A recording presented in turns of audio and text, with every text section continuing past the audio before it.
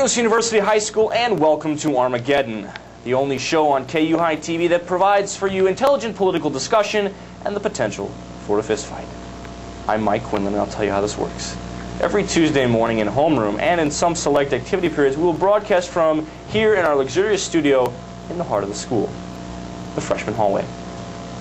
That being said, many of you may already have guessed that I lean towards the right on many issues. Actually, I'm about as far right as you can possibly be. On this show, we will tend to have guests as we do today. That being said, I would like to introduce to you the second half of Armageddon, Kevin Gier. Welcome to Armageddon. I'm here to provide the sensible, progressive, liberal counterbalance to Mike Quinlan's far right, would you say, politics, I must say. We're going to be debating, we're going to have a lot of fun on the show, and we're also going to cover some of the serious topics of our day, national and international. So I hope you tune in in the next couple of weeks. Our guest today is well known to everyone in the school. His dedicated service to public affairs as a FEMA certified level 2 storm spotter, as our KU High weatherman, and as a Kirkwood police explorer have earned him enormous respect throughout this community. Here with us today to talk about global warming is Mark J. Zinn. Mark? Thanks, Mike. Well, you know, I am not a, um, a climate expert, so I'm not going to be the, you know, professor of climate here, climatology here, but I, I can give you some insight on uh, the global warming theory. And I, and I say that because it, it really is a theory. Um, it seems like, you know, you have all these pundits go on to cable news networks and, and all they do is just, you know, I think they scare people into uh, believing that global warming is some kind of dangerous threat that will harm society. But I do think it is a threat, but do I think it's as serious as people, I'm not going to name any names, okay, Al Gore um, says it is. I don't think so. But I, I do understand, and I, I, think the National Weather Service, you know, NOAA with the National Oceanic and Atmospheric Administration, and the AMS, American Meteorological Society, um, they all, they all, they all kind of comply that there is a global warming um, problem, but they don't really go as far as saying what you know other people say is it's going to wreak havoc all along this world. So that's what I'm going to say. Right, because if it's supposed to wreak havoc, I mean, according to Al Gore, the Earth's supposed to end in like less than 10 years or something like something that. Like that The clock is actually the, the, the, clock to the end of the world is on Rush Limbaugh's website.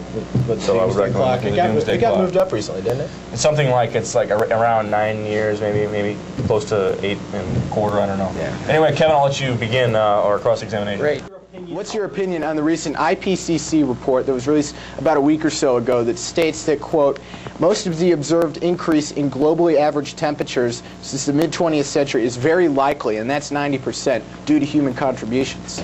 I do think that humans do have an effect on global warming um, from auto emissions, um, industries. But I think what agencies such as the IPCC, what they do is they just focus on humans. They don't really focus on the natural effects of global warming.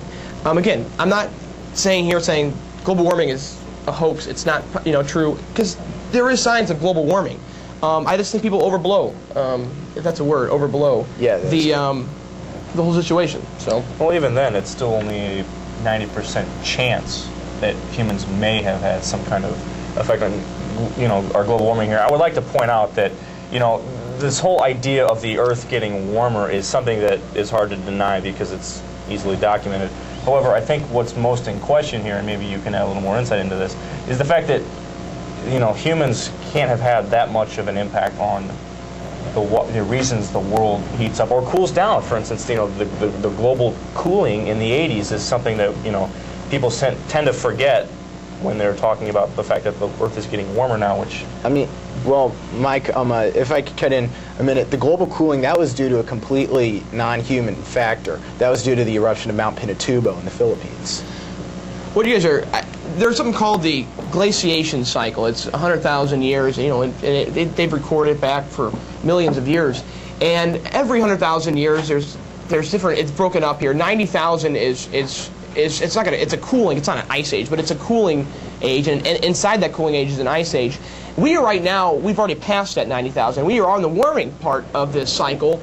And, and it's clear, and we are in the 13th, 14th year of this cycle here, and that's about average for the warming. And it, in, in some cases, in some of these cycles, you know, the warming can last for 20, 25 years. So that is one um, situation. I'm sorry, that's one possibility of why the Earth is warming at a constant rate. Well, so what you could be saying here is that this warming that we're having is just something that happens naturally. Uh, And there is and then there is point we'll natural there is definitely natural warming in our uh, in our environment. So what, what we're getting at here is perhaps that the uh, emphasis that politicians and whatnot place on global warming and sense, you know, using tax dollars to find ways to Right. prevent global warming is maybe just wasted because the Earth is going to get warmer anyway.